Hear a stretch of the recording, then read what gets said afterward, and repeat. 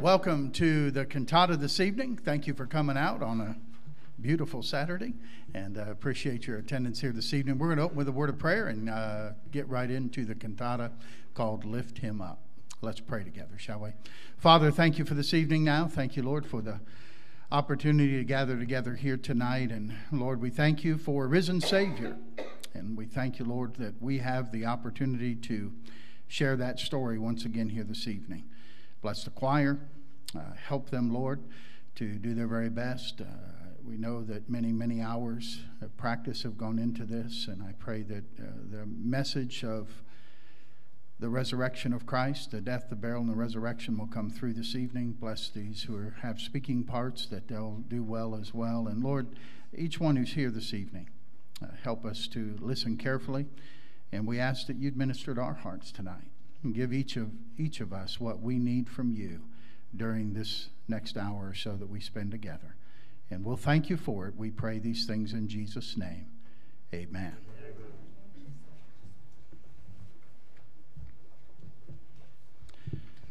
Let this mind be in you, which was also in Christ Jesus, who being in the form of God thought it not robbery to be equal with God, but made himself of no reputation, and took upon him the form of a servant, and was made in the likeness of men. And being found in fashion as a man, he humbled himself and became obedient unto death, even the death of the cross. Wherefore God also hath highly exalted him and given him a name that is above every name, that at the name of Jesus every knee should bow, of things in heaven and things in earth and things under the earth, and that every tongue should confess that Jesus Christ is Lord to the glory of God the Father.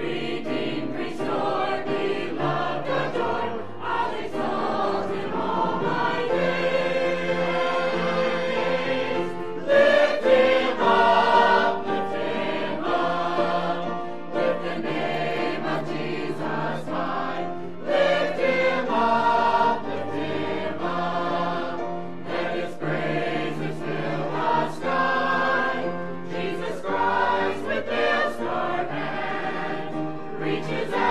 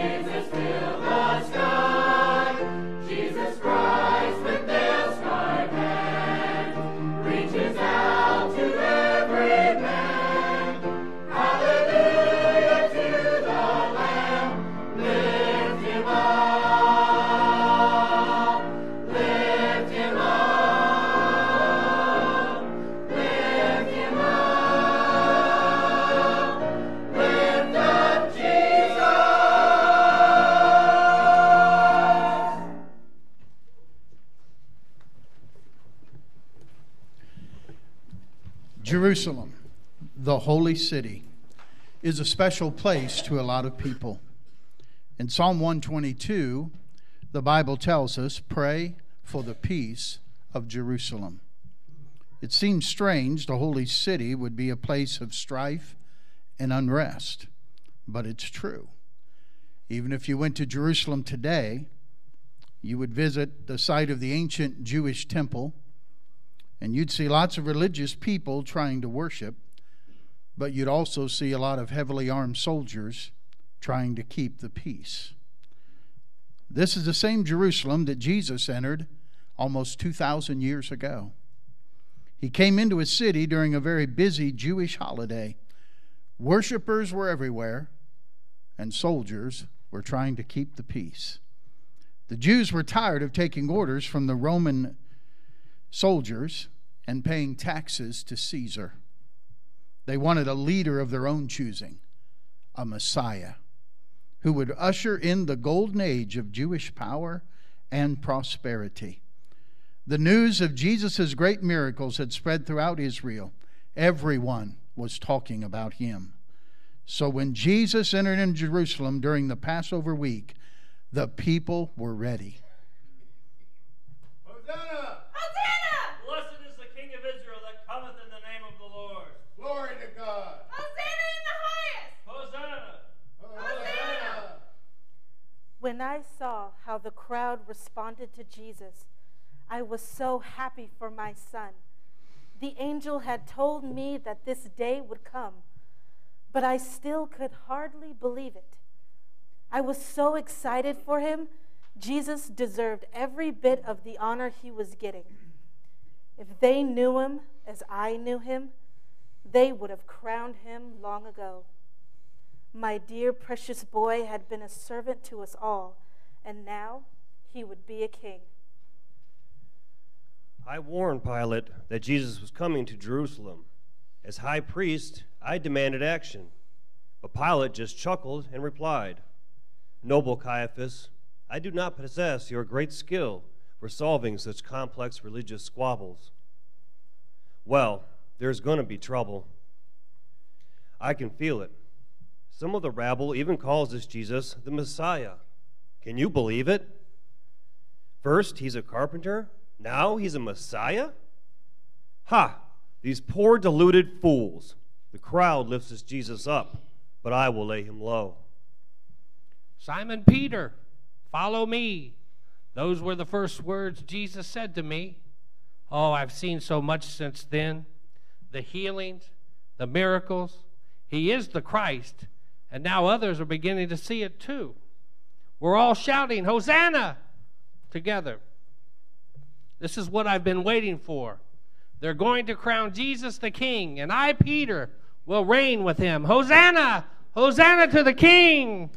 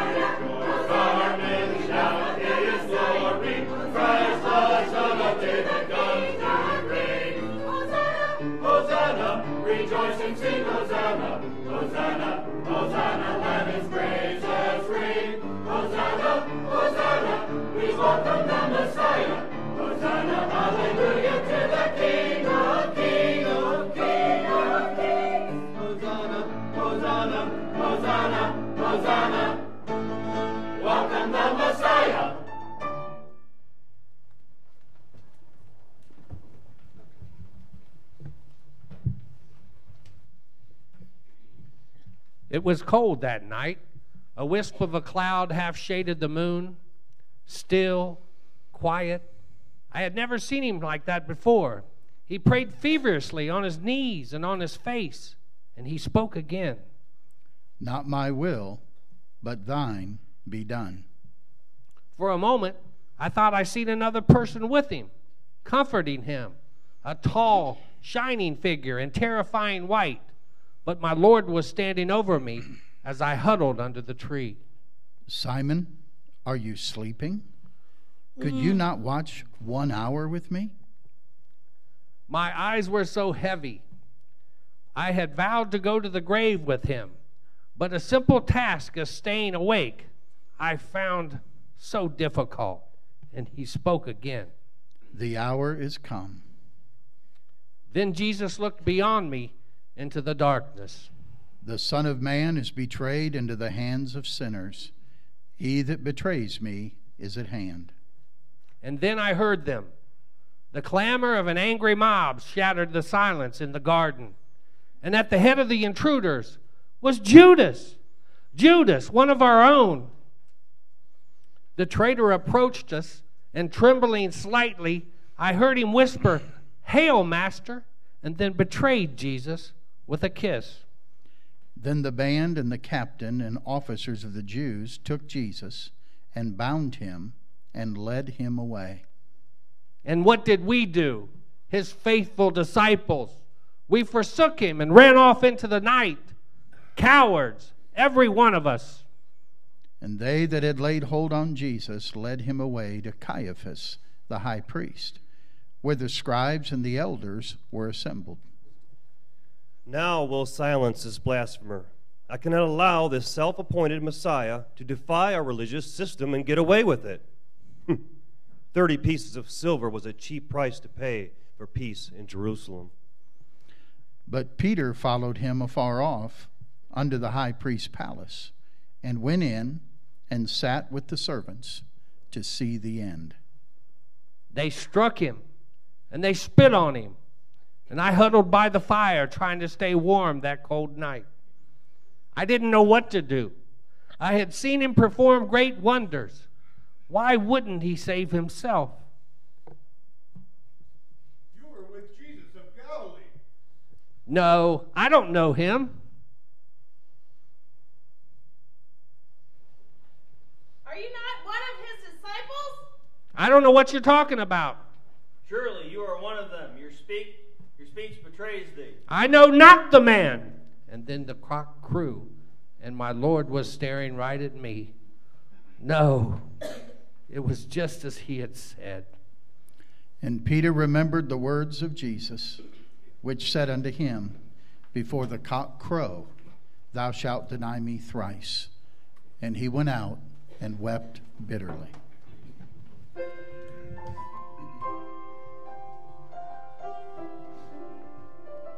Search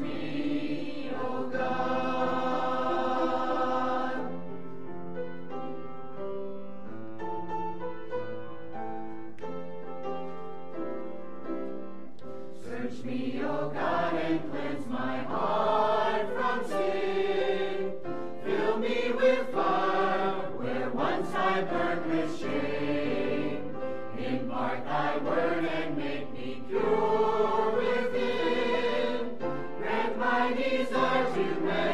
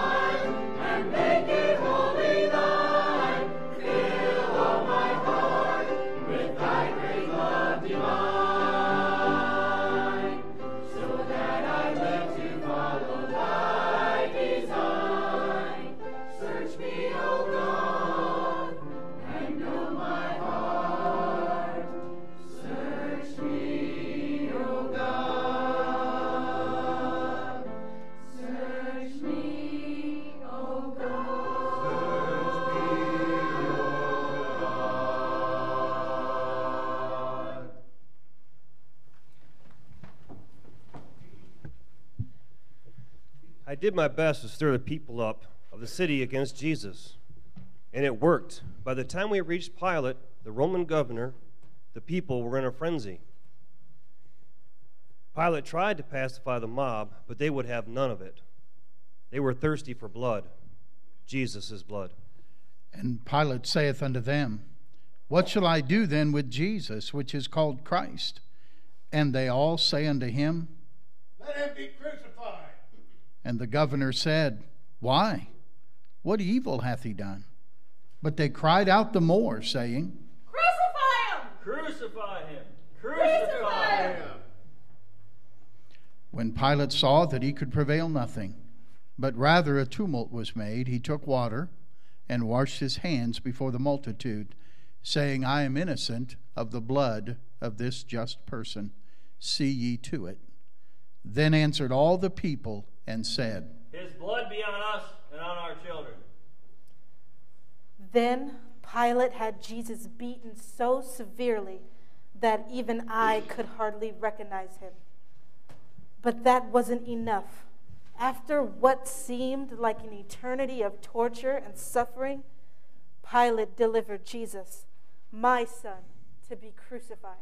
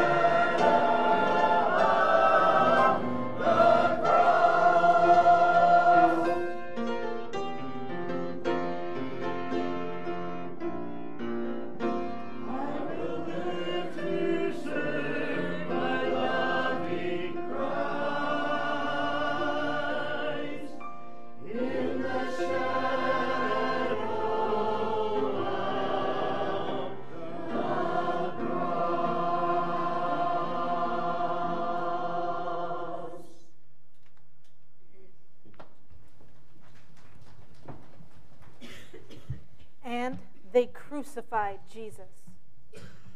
And Pilate wrote a title and put it on the cross. And the writing was Jesus of Nazareth, the King of the Jews. And the people stood beholding. And the rulers also with them derided him, saying, He saved others, let him save himself, if he be the Christ, the chosen of God. And the soldiers also mocked him, coming to him and offering him vinegar, and saying, If thou be the king of the Jews, save thyself. Then said Jesus, Father, forgive them, for they know not what they do. They lifted him up on the cross. And where was I? Hiding in a dark room, crouching in some shadowy corner like a frightened mouse. I jumped at every sound, thinking the soldiers were coming after me next. I should have been at his cross. I just couldn't. I couldn't force myself to go. This Jesus bragged that he could destroy the temple and rebuild it in three days. He said he was the Son of God. Well, we have lifted up this pretender so that all may see how powerful he truly is. The same people who shouted, Hosanna to the King, are now enjoying the spectacle of his execution. Look at this blasphemer now, nailed to a worthless stick of wood, gagging and gasping like any other common criminal. In a few months' time, no one will even remember his name. And there stood by the cross of Jesus his mother. I actually thought it would kill me to see Jesus on that cross. But I had to be there. He was my child. I had always been there when he needed me since the day he was born. When he was sick as a little boy, I would hold him close, rub his forehead, and sing him to sleep. But now I could do nothing, nothing but watch his blood run down that awful cross. And Jesus said, It is finished. And he bowed his head and gave up the ghost.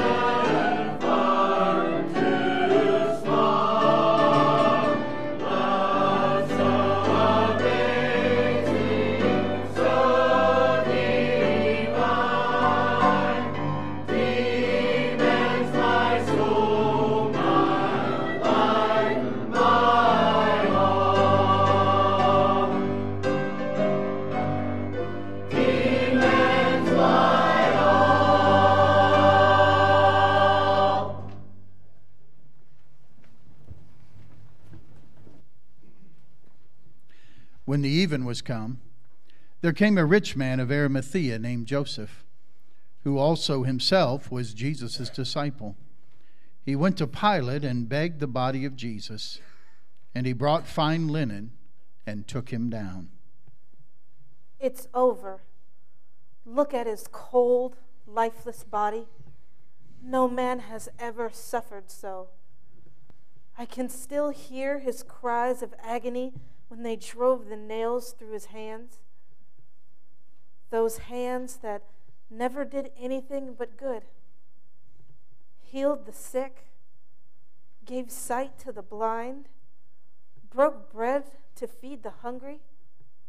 Those strong carpenter's hands that I knew would care for me the rest of my days are now bloody, torn, lifeless. Those kind, loving, beautiful hands.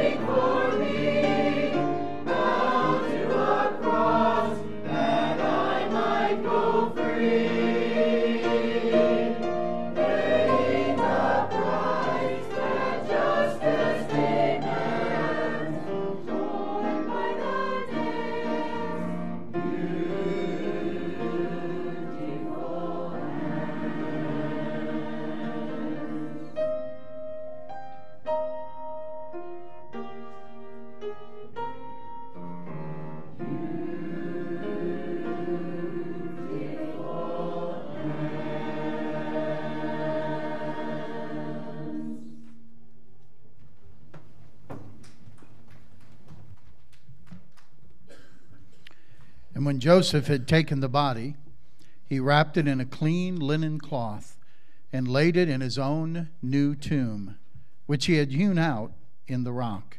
And he rolled a great stone to the door of the sepulchre and departed.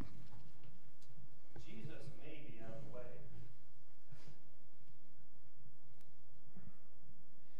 Jesus may be out of the way, but I'm certain his followers will be busy trying to create some new mischief. Perhaps they might even try to steal the body and spread the rumor that Jesus has come back from the dead. I must see to it that Pilate has a guard posted at the tomb. I remained in hiding, too scared to go out into the street. Who knew what Caiaphas was planning next? What would I do now? Who really was this Jesus anyway? Did it really even matter? Nothing made sense. I just wanted to get back home to Galilee. It had been two days since Jesus' death. I was drifting in a sea of despair. Every waking moment, I could see my son on that cross, crying out to pain, struggling to breathe. When I tried to close my eyes and sleep, the details became more vivid. The blood, the cursing, the darkness, the wickedness of those evil men who killed him. And very early in the morning, the first day of the week, Mary Magdalene and the other Mary came unto the sepulchre at the rising of the sun, and they found the stone rolled away. And they entered in and found not the body of the Lord Jesus. Behold, two men stood by them in shining garments. And as they were afraid and bowed their faces to the earth, they said unto them, Why seek ye the living among the dead? He is not here, but is risen. And they returned from the sepulchre and told all these things unto the eleven. Mary Magdalene scared us all when she burst into the room shouting, The tomb is empty! The tomb is empty! John and I took off running and we didn't stop till we got there. And yes, the tomb was empty. And the linen cloth that had been wrapped around his body was laying perfectly in place, just as if his body had just vanished. And then dimly, the words of Jesus began to come back to me and whisper a faint glimmer of hope. The Son of Man must be delivered into the hands of sinful men and be crucified, and the third day rise again. The soldiers who were guarding the tomb came running to me, scared for their lives and very confused. They thought they had seen an angel roll the stone away from the tomb. And when the guards looked into the tomb, they thought the body was gone. But it was so dark, and they were so tired. They needed my help to remember the details. So I gave them some money, a rather large amount of money, and told them exactly what they saw. While they were asleep, the disciples came in the darkness, rolled the stone away, and stole the body of Jesus. It was really quite simple. An empty tomb? Oh, could it be? Mary Magdalene says she saw angels, two men in shining white with dazzling faces. Maybe she just imagined them. No, it's possible. I know. I remember the angel God sent to me over 30 years ago. I can still hear his voice. And behold, thou shalt conceive in thy womb, and bring forth a son, and shall call his name Jesus. He shall be great, and shall be called the Son of the Highest. And the Lord God shall give unto him the throne of his father David, and he shall reign over the house of Jacob forever, and of his kingdom there shall be no end. And he shall reign forever. Oh, praise Jehovah! He is alive.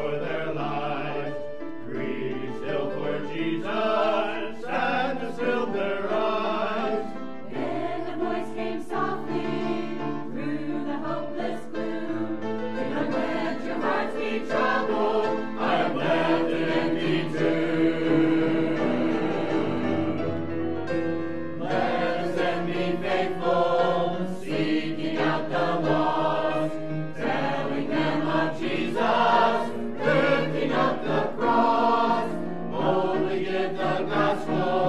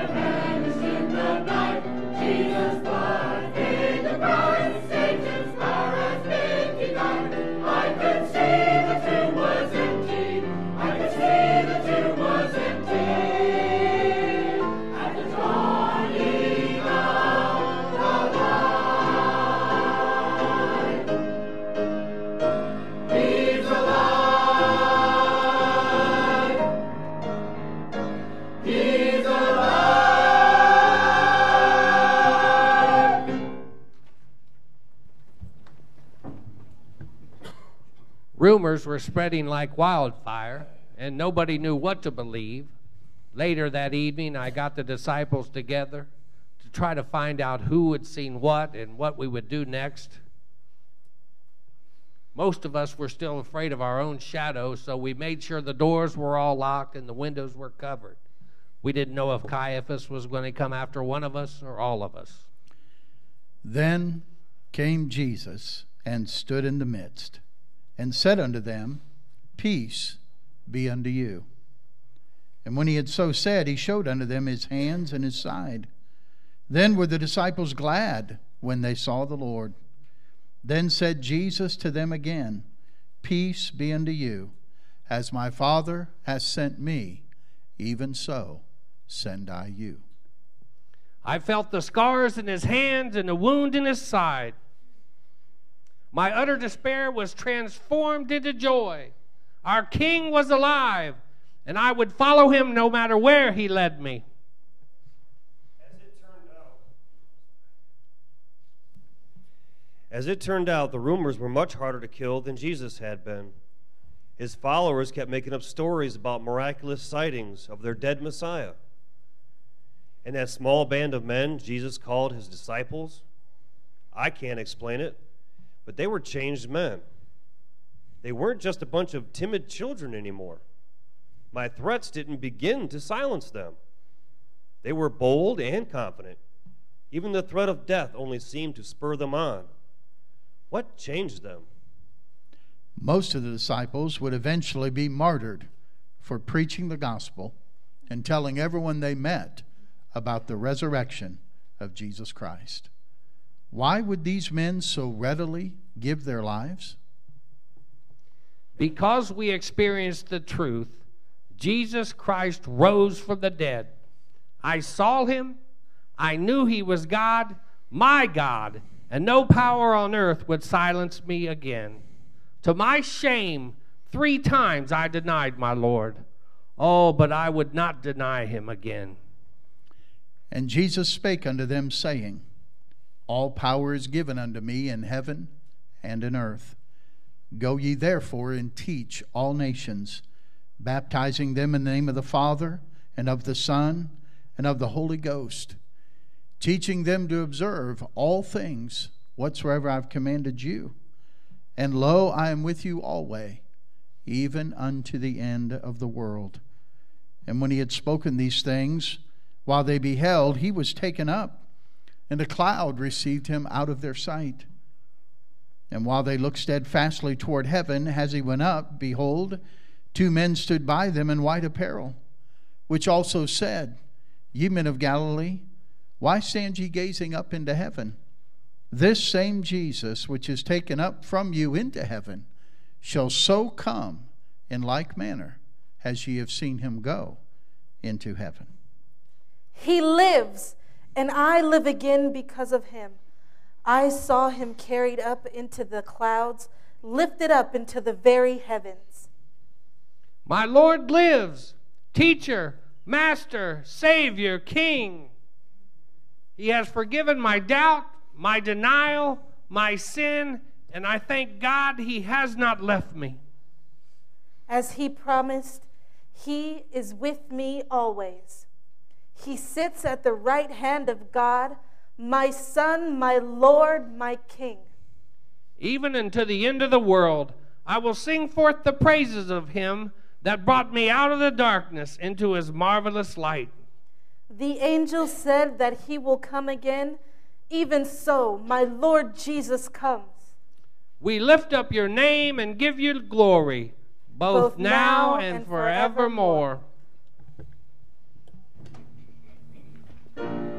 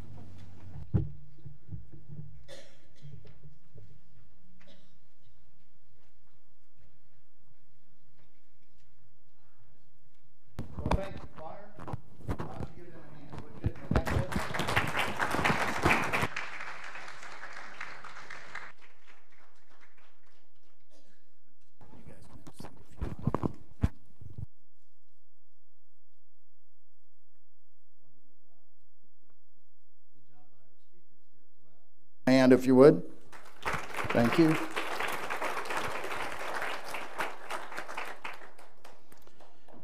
Uh, appreciate you taking time and uh, coming this evening. I, um, if you have a Bible, I'd like to share something with you from John chapter 3. If you have a Bible handy there with you. It's interesting. This is Jesus speaking in John chapter 3 to a very religious man named Nicodemus. Some of you might be familiar with that story.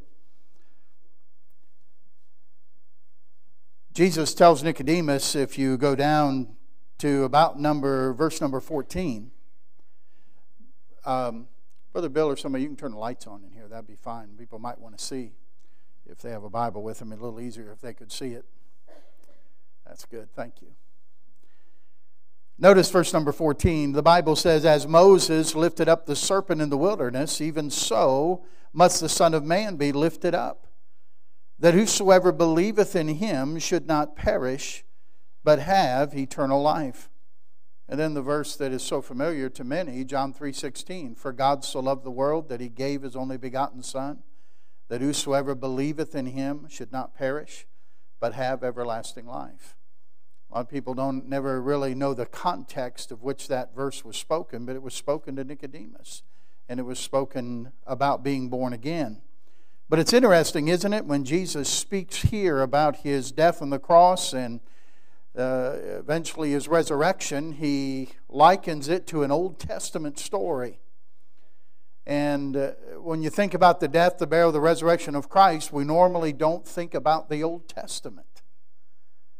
But the story he refers to here in the Old Testament is one from the book of Numbers, chapter 21. The Israelites have uh, traveling from Egypt and traveling to the promised land and uh, they got a little weary with the journey. All right? God has miraculously taken care of them. One of the things that God did uh, along the trip is He's provided food for them. Uh, they called it manna. Uh, it, it, it was a lack of not knowing what to call it. All right? Manna means what is it? All right? Uh, and they, you have to understand, they didn't have to work for it. They didn't have to go out and hunt it down. They didn't have to go seek it out. They just walked out every morning and there it was. And they'd have to gather up what they needed for that day. And if they didn't have it gathered by the time the sun came up, the sun would burn it off and they wouldn't eat that day. And they couldn't gather more up and take a day off because whatever they gathered more than what they needed, it would breed worms and it would stink and it wouldn't be any good. Now, that was great for a while. But think about this what's for breakfast? Manna. What's for lunch? Manna. What's for dinner? Manna.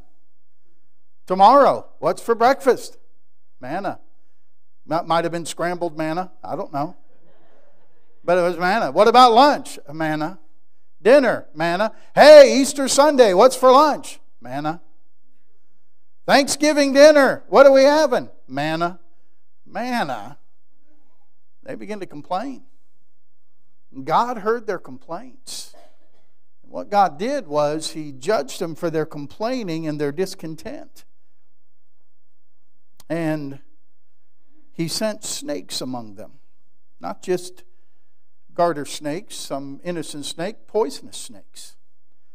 And the snakes were biting the people, and people were dying. A very, very tragic story. So they came to Moses and they said, Moses, pray to God that he takes the snakes away. Moses prayed to God, but God did not take the snakes away from the people.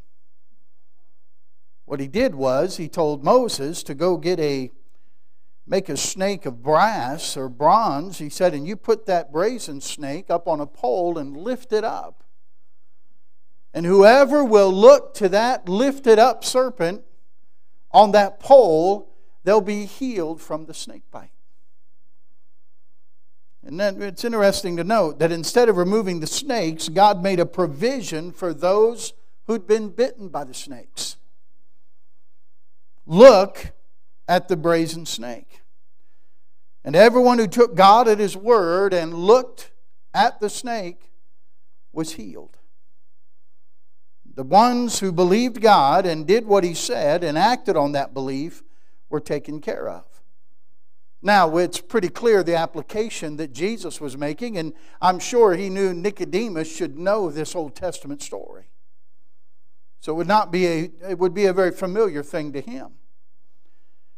Jesus, if you go forward now about 1500 years from that time there in Numbers, Jesus says that if you when I'm lifted up, just like that serpent was lifted up, if people will look to me, then they too can be healed from the sickness, from the snake bite that everybody's been bitten with, the snake bite of sin. And everybody can be healed from that. We cry out to God, why doesn't God just make all the sin go away? But God doesn't seem to do that, does He? You know what He did? He made provision for you and for me to get cure, a cure for the snake bite of sin. And that cure is what you're here celebrating this evening the death, the burial, and the resurrection of Jesus Christ. You see, the Bible says God commended his love toward us, and that while we were yet sinners, Christ died for us. He was on the cross dying for your sin and for my sins. He was making provision as he was lifted up from the earth on the cross. And just as people looked to the snake in that day, and they had to look to the brazen serpent in order to be cured from the snake bite, we have to look to Jesus Christ who died on the cross for our sin and say, I'm trusting what Jesus has done for me to forgive my sin and to give me the gift of eternal life. But you can't just look at Christ dying on the cross. Because if that ended it, then he was just a martyr, like many others have been martyrs. That's why there's a resurrection. He's not just the Savior, my friend, he's the living Savior. No other religion of the world can lay claim to that. Only Christianity we have a living Savior. And so it validates his sacrifice for our sin. And so whoever looks to Christ and believing that Jesus did everything necessary for us to have eternal life and will put your faith and trust in him, you're saved from the penalty of sin, which is death and hell. Just as the Israelites were saved from their sin of grumbling against God. The difference, of course, is this they were only saved temporarily, they were only healed temporarily from that snake bite. But Christ's provision on the cross was a once and for all offering for sin. Once Jesus offered that sacrifice for sin, and we read this evening about him ascending back to heaven, he sat down at the right hand of God because his work of redemption was complete. It's done, it's finished. Christ died once for sins, the just for the unjust, that he might bring us to God. And God forgives sins no matter what they are or how many there are. Nobody's too bad to be saved. Nobody's too far gone. Thieves, murderers, adulterers, pornographers, you name it. They can be forgiven no matter what the sin. And truth is, you may be here tonight and say, Well, I don't think I'm that bad of a sinner. But I want to remind you that everybody's sinned. We sometimes talked about this in our church services. You know, if you if you got through the whole day today and just sin one time, let's say you just sin one time a day. By the way, that'd be a pretty good day. If you don't think you haven't done so well, let me talk to who you live with and we'll see how you made out. But one sin a day would be 365 sins in a year. Think about that. You, you start adding that up year after year after year after year. And after 30 years of living, or 40 years of living, or 50 years of living, you've got quite a few sins to account for. That's just one a day, and most of us probably, I'm just guessing. I don't know, I don't know about most of you, but I know the choir sins more than that. Amen. All right. We have more than that that we have to deal with.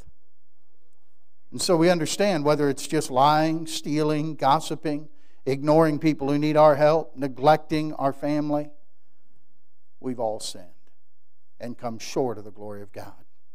But Christ died for our sins. Not just big sins, little sins, He died for sin. And if you put your faith and trust in Christ, you can have forgiveness of sin and a home in heaven when you die. Heaven's a wonderful place. What, a, uh, what an amazing place it must be. We were talking to a, I was talking to a truck driver this morning, and he was trying to tell us a little bit uh, something that Diane's probably seen before. Route 70 out in Colorado, he said when the sun is coming up and the Rocky Mountains are there, and he said it's just incredible. And, and, and he said he saw that and, and experienced that, and he just said, you know what? Atheist, you're wrong. There's a God. It was just beautiful. And, and, and yet he said, you know, if as beautiful as our nation is, as beautiful as the world is, he did all that in six days. Jesus said, I've gone to prepare a place for you. He's been preparing that place for a couple thousand years. I can't imagine what that's going to be like. I know sometimes we talk about our loved ones that are there, and that's a wonderful comfort. But the truth is, I'm not sure we're going to know who else is there for the first few thousand years while we're just in awe of what we're looking at. An amazing place called heaven, a place where there's no war, no pain. The Bible says he'll wipe every tear from our eye. We'll be in his presence. So it's a wonderful thing. But when, when we receive Christ our Savior, listen, it's not just for the sweet by and by, it's also for a wonderful life now. It's also for a great life on this earth. I, am glad I'm saved. I'm glad I'm a Christian because I'm glad that one day when I take my last breath here, uh, my next breath will be in heaven. And that's a wonderful, absolute assurance and feeling that I have that, that, that has come from the Scripture that's a great comfort to me, and I hope it'll be a comfort to my loved ones. But I got a news for you. If that wasn't even there, I'd want to live as a Christian on earth. I'd want to live like a Christian, like the Bible says we should live. Because Jesus said, I've come you might have life and you might have it more abundantly. Now, it doesn't mean all the problems go away, but it does mean I have a problem solver that I can take them to. I have someone that I can rely upon and someone that can solve those problems. And I know that no matter what, what trouble you experience, you've got someone you can go to that's greater than your trouble. And I've got someone I can turn to that's infinitely bigger than any problem that I face. So it's wonderful to see that I can have a life that is pleasing to God and that is blessed by God. Free. Free to live the life that God intended me to live, not bound by sin, not bound by habits that hinder me from being what God wants me to be. But I can have freedom in Jesus Christ. Son shall make you free, you'll be free indeed. Now you think about again, going back to the to the snake story of the Old Testament Numbers. Think about that for a minute. God told Moses, now you're going to put this snake up on a pole, and whoever looks there can be healed from their snake bite. But you have to understand something. Just because the snake was on the pole and it was lifted up didn't mean everybody got healed. They had to look at the snake. People had to act on their faith. They didn't just have to listen to Moses and say, Yeah, that sounds good. I, I believe that's what God said. I believe that's what God told you to do. I believe that. We're not sure exactly how many Israelites were there in the wilderness. You hear any estimates from two to three million. But that's quite a crowd. And he didn't say he's stationing several of these snake, you know, lift, lifted up several places throughout the area. It was just one. And they had to get to it. So they, they believe the area covered was about half the size of the state of Rhode Island. So whoever got bitten, they would have to get to where they could at least see the brazen serpent lifted up.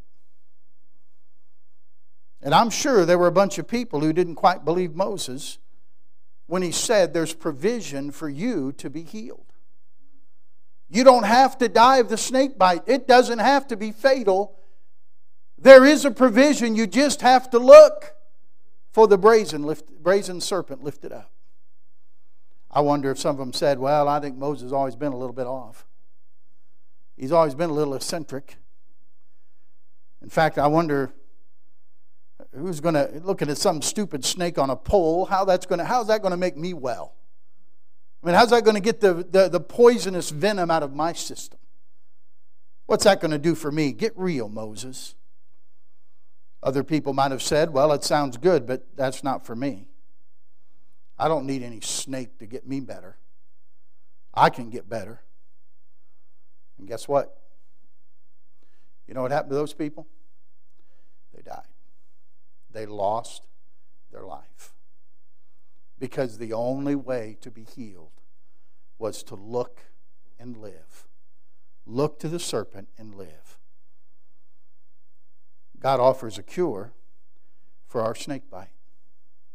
And you can, you can be here this evening, or you might have been around other people who have told you the story of Christ before, and maybe you've been like some of those folks said, Yeah, I think you, you guys who believe in that kind of stuff are a little bit off. I think you guys are, are in a dream world. Or other people say, Yeah, you need a crutch like that, but I don't need a crutch like that. Well, here's the problem, my friend. We all die.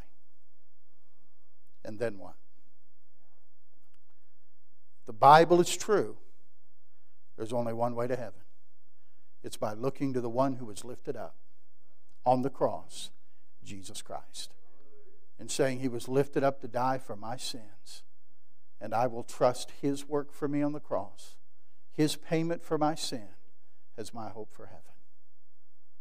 And if you trust in anything else, you will pay for your own sins in hell. That's the message of the resurrection. That's really the only, it's the only two groups of people the Bible says there are on the earth saved and lost. Saved and lost. There's no in between, there's no on the fence. You're on one side or the other. And you just have to look by faith and to Jesus and believe in Him. Believe means you put your faith in it, you put your confidence in it, you put your trust in it. And you will believe only in Christ. Whosoever believeth in him should not perish, but have everlasting life. You have to act upon your faith. Will you take advantage of the provision that God has made for you? That God sent his Son into the world to be the payment for our sin?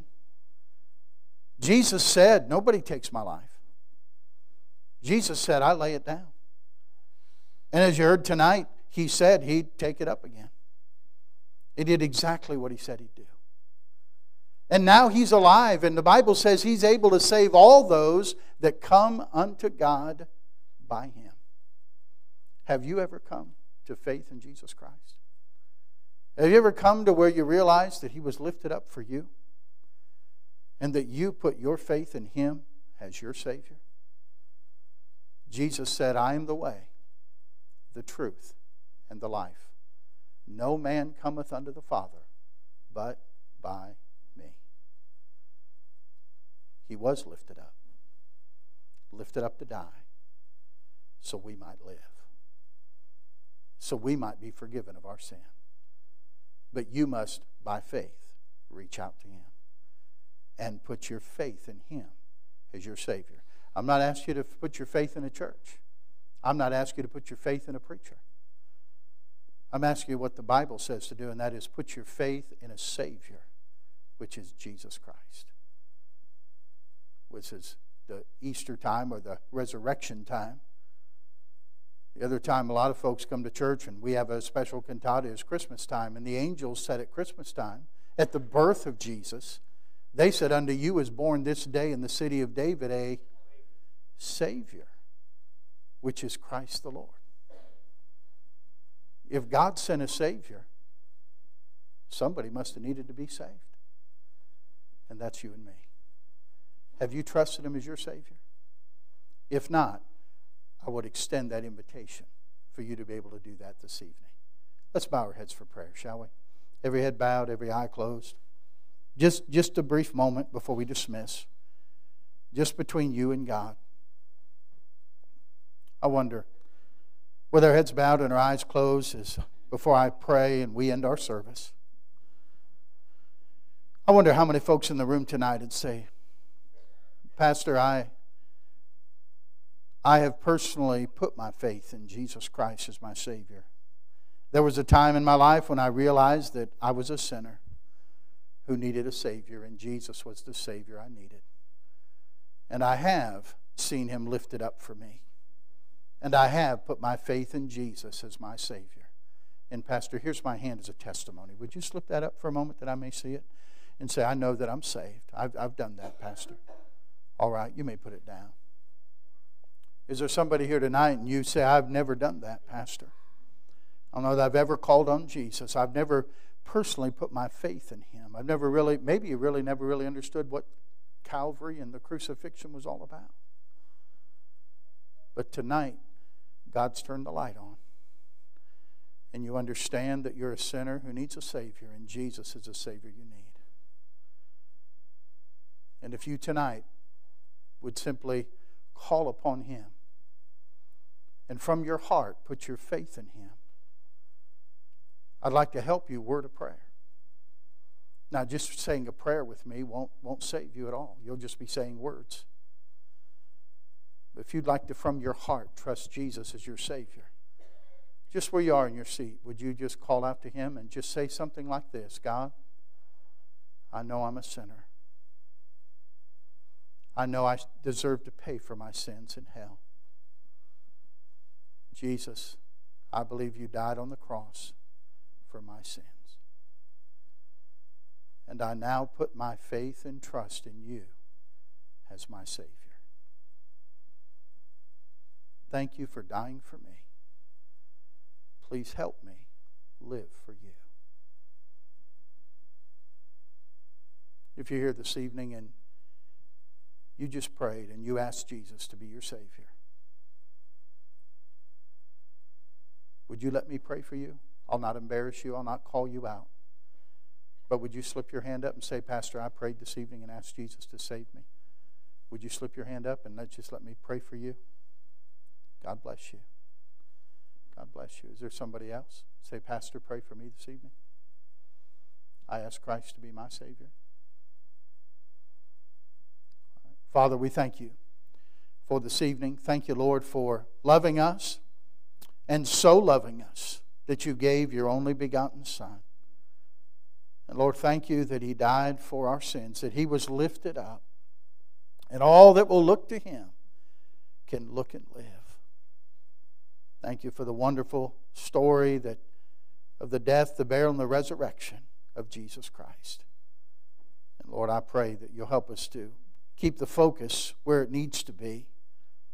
The world seems like they always try to take things away fill, fill everyone's mind with the things that don't really matter. Lord, help us to focus on this night and on the morning with the resurrection of our Savior, Jesus Christ. Thank you for loving us. Thank you, Lord, for each one of these who have come to uh, be in the service this evening. Dismiss us now with your care, Lord. We love you. Give us a good evening and prepare our hearts for the Lord's Day tomorrow. For it's in Jesus' name that we pray. Amen. Amen. All right. Listen, thank you for coming tonight, and uh, we'll let the choir come down here and uh, join you, and you can uh, get to talk to those who you came to, to see this evening. Thanks for taking time out of your Saturday night and being here. God bless you. You're dismissed.